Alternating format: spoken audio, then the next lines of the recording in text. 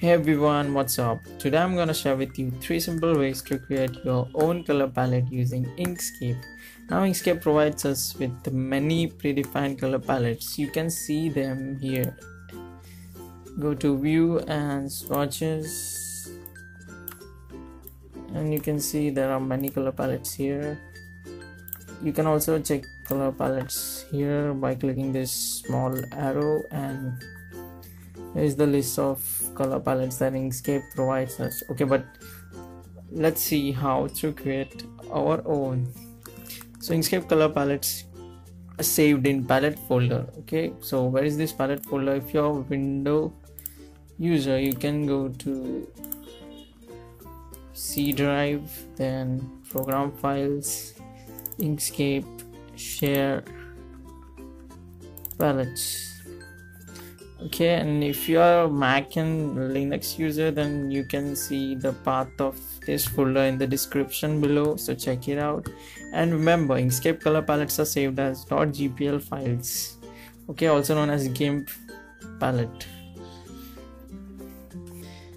so now let's create our own palettes so there are three ways to do this. First one is to select every color manually. And for this you're supposed to create objects with colors of your choice. So let's say for example I want to create a color palette of four colors. So I would just make four objects. It can be anything. I'm using rectangles here. And fill them with the colors of your choice so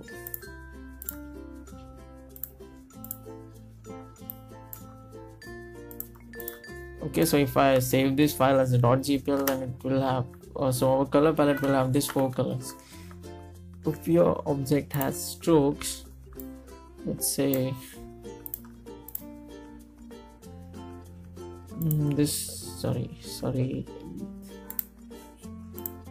let's say your object has some stroke then the stroke color will also be saved as a separate color in your palette.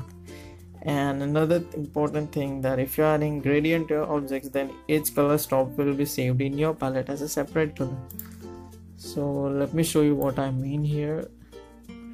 If I add gradient to this object then every color gradient stop will be a separate color of your palette. So now this object has three color stops. So each color stop will be there in our color palette so just let's save it now as a .gpl file in your palette folder. Let's create let's name it basic. Okay basic color is already, already there very basic and save as type .gpl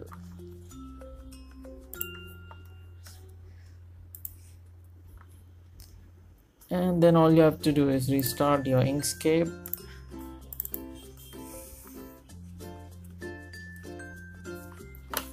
And now if you go to swatches you can see your color palette is there. See very basic colors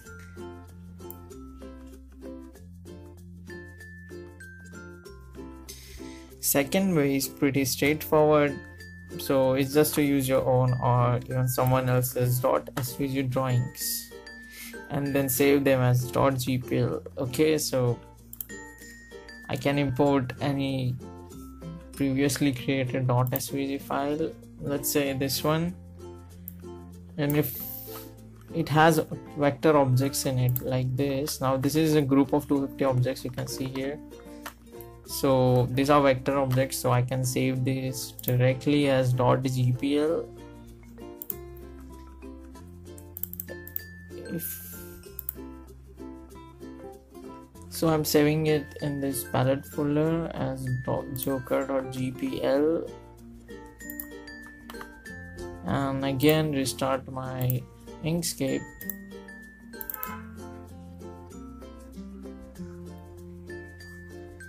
and we can see the joker palette is here. See. Alright so what to do if you have image which is not a vector okay? So i mean .png or .jpg file which you got from some website or poster and you want to create a palette for using colors from it. So the third way is for that. So you can do it by importing that photo let's say this hope poster.